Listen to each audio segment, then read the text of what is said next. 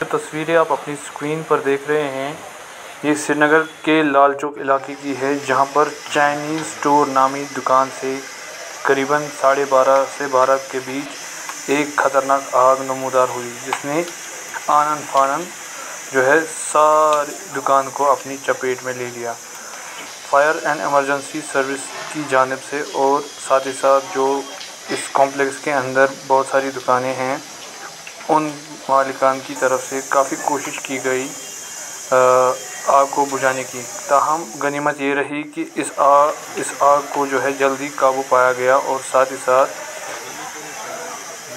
इस आग को जो है कंट्रोल में किया गया। मज़ीद हमने इस दुकान मालिक से बात की, क्या कुछ कहना है उनका? आप भी सुनिए। जुबैर। लगभग साढ़े का बह बजे करीब उस तम सात शायद?